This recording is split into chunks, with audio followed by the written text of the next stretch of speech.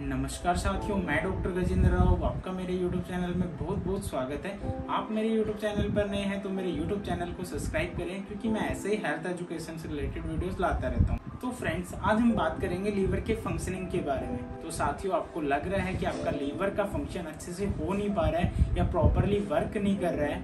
जैसे आपको gas acidity indigestion खाना खाने के बाद खट्टी डकारे आना, पेट में आफरा आना, पेट फूलना, भूख नहीं लगना मॉर्निंग में ऐसा लगना कि वॉमिटिंग होने वाली है।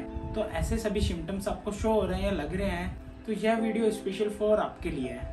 तो जैसा कि फ्रेंड्स आपने अपने लीवर का डायग्नोस करवाया या ऐसे सभी सिम्टम्स आपको लग रहे हैं तो इसके भी बहुत सारे कारण होते हैं। तो फ्रेंड्स बेसिक कारण की बात करें तो काफ़ी पेशेंट एल्कोहलिक होते हैं। काफ़ी पेशेंट की पास हिस्ट्री में देखा जाता है कि उनको हेपेटाइटिस ए बी सी है, या फैटी लीवर्स की प्रॉब्लम है, या उनको पहले से किसी टाइप्स की मेडिसिन काफ़ी टाइम से चल रही है।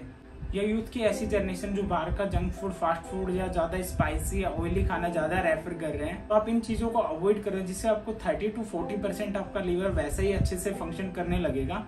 साथ ही एक पेटेंट होम्योपैथिक सिरप के बारे में डिटेल्स में डिस्कस करेंगे, जिसका यूज़ कर कर आप अपने लीवर को फ़ंक्शन को काफ़ी अच्छा इम्प्रूव कर पाएँगे। तो फ्रेंड्स, उस सिरप का नाम है लिवटी। वो एसबीएल कंपनी की सिरप आती है। इसके प्राइस की बात करें तो 160 के अराउंड इसका प्राइस पड़ता है, जो आपको इजिली होम्योपैथिक स्टोर पे आसानी से मिल जाएगी। इस सिरप की डोजेस की बात करें तो आपको खाना खाने से आधे घंटे पहले इस सिरप को एक ढक्कन ले लेना है। मॉर्निंग और इवनिंग दोनों टाइम सिरप को आप आसानी से ले सकते हैं। फ्रेंड्स इस सिरप के काफ़ी अच्छे रिज़ल्ट देखे गए हैं लीवर की फंक्शनिंग के लिए।